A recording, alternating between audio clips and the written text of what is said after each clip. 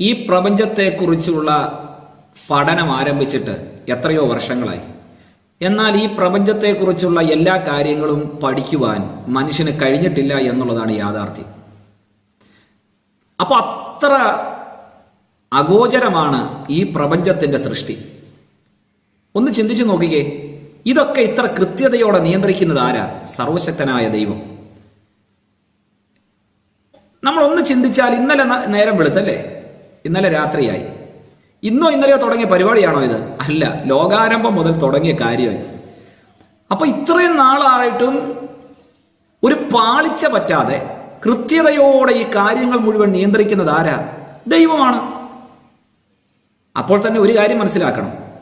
നമ്മുടെ വീടിന്റെ അപ്പുറത്തെ മരത്തിന്റെ കൊമ്പിലിരുന്ന് കരയുന്ന കൊച്ചു പക്ഷിയുടെ വായിലേക്ക് ആഹാരം കൊടുക്കുന്നത് ആരാ?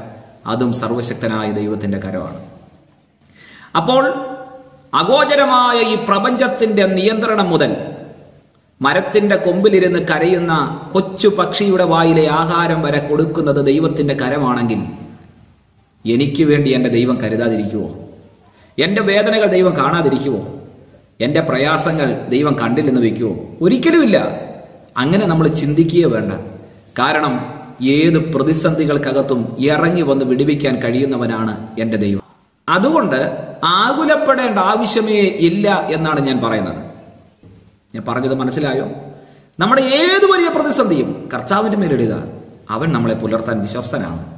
ഈ വചനങ്ങൾ നിങ്ങൾക്ക് അനുഗ്രഹമായി തീരട്ടെ എന്ന് ഞാൻ പ്രാർത്ഥിക്കുന്നു. കർത്താവ് നമ്മളെ അനുഗ്രഹിക്കട്ടെ.